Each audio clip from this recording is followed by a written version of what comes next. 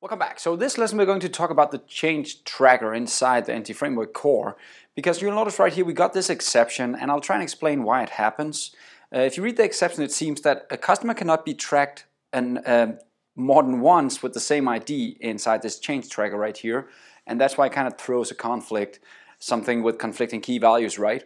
Now that would be the same in database like we just talked about. You cannot add a customer twice with the same ID in the database. It's the same thing here. You cannot track in your context the same customer with the same ID twice. That makes sense, right? Because if I had the same customer with the same ID, I couldn't look them up anymore because, well, they had the same ID. So how do we fix this? Well, let's try and jump into our code before we do it. I'll fix in the next lesson because I want to show you guys the change tracker first. Now the change tracker, you can get that by calling your context change tracker. And then you can actually using ent entries right here, you can get all the things that are currently being monitored inside your context. Everything in memory right now, you can actually get a list of all of that inside this change tracker right here. You can also be specific and say, I only want to track a specific table or a specific class in the change tracker. In my case, customer. I want to know what customers are available in the change tracker right now. So what customers have we loaded from database into the in-memory DB context right now. Now this is very valuable. I'm going to add it right here inside my inside my um, order repository and I'm also going to add it inside my customer repository. The same change tracker right here inside the read by ID I added it here as well. And there I'll also explain I only want to get the customers right? I don't want to get all my different entities. I'm only right now interested in the customers because we can actually use that data for something inside the system.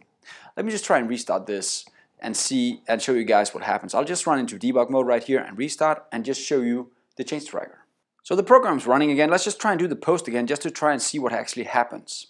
So first of all, you need to understand when we are hitting the controller right here and creating our order, of course what we do is we go down and we say uh, create order in the post request, right? Now that's going to hit the order service and ask that guy to create an order, right?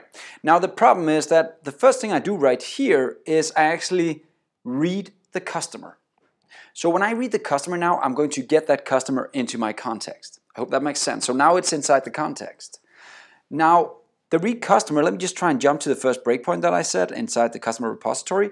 Notice I put a breakpoint right here. So if I check out the change tracker right now, before I hit this breakpoint, Let's just expand this and you'll notice that right now in the results down here, there's nothing in there at all. It's blank. I'm not tracking anything in the context, just like I talked about last time. It's a blank context.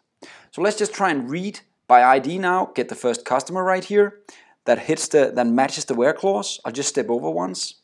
It'll now go and get the customer in the database. And now let's have a look at the change tracker again, because now it should actually contain in results the first customer. And there we go. Now he knows that that guy is now in the context. He's not only in the database, I pulled him into memory now because I need him. I hope that makes sense. Let's continue this now. What will happen is I'll hit the second breakpoint that I put in there.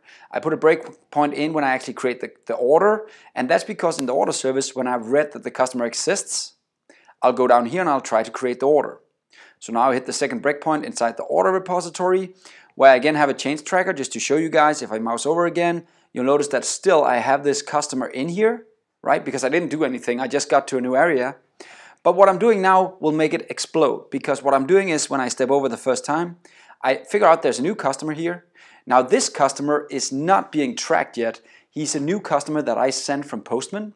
If you look at the body right here, it's this customer. So he's not being tracked yet. And all I do is then attach him to the context right here. But the problem is this guy has ID of 1 and if I look at my change tracker, I also have a customer in here. And that customer also have the ID of one.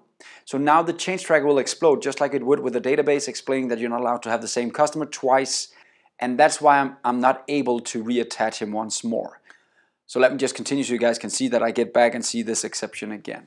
Okay, so that's the change tracker. And the change tracker is pretty powerful. Let me just try and show you. You can go read about the change tracker in here and about all the things you can start tracking with the change tracker. Um, it's, it's a pretty powerful thing, so you can go and, and play around with that if you want to, but for debugging, it's very powerful in my mind. So next lesson, what I'm going to do is I'm going to use the change tracker to kind of figure out if things are already attached or not, and then if they're not, then I'll attach them. So see you in the next lesson, where we'll have even more fun.